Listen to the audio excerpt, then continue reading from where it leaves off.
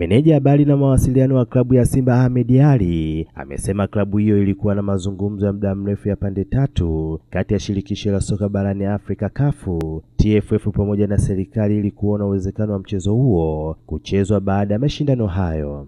Kisha maliza kushuhudia, basi tuwaombe kwa ridhaa yao, kwa mapenzi yao, basi waondoke na wauache uwanja ukiwa mtupu. Lakini serikali pia imetuahidi kusimamia zoezi zima la kuhakikisha kwamba watu wote ambao watakuwa wameingia uwanjani kushuhudia mashindano haya ya Qur'ani basi waondoke na wawache uwanja ukiwa mtupu. Na baada hapo sasa, Simba Sports Club tutaanza maandalizi yetu rasmi kuelekea kwenye mchezo wetu wa saa moja jioni dhidi ya Orlando Pirates. Amesema kazi ya uwekaji wa mfumo wa VAR unaendelea vizuri katika uwanja wa Taifa ambapo zitatumika katika mchezo wao wa robo fainali dhidi ya Orlando Pirates.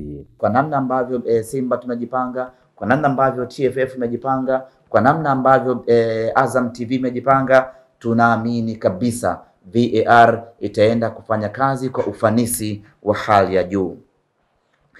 Waamuzi wa mchezo huu wale ambao wataendesha VAR wanatarajiwa kuwasili hapa nchini Aprili kumi na tano, lakini pia e, waamuzi ambao watasimamia wata, wata, wata, wata, wata mchezo wenyewe kwa maana ya waamuzi wale wanne wao wanatarajiwa kuwasili hapa nchini Aprili kumi na nne. Mashabiki wana maoni gani kuelekea mchezo huo? Kila siku tukishinda tunaambiwa hivi tunaambiwa hivi.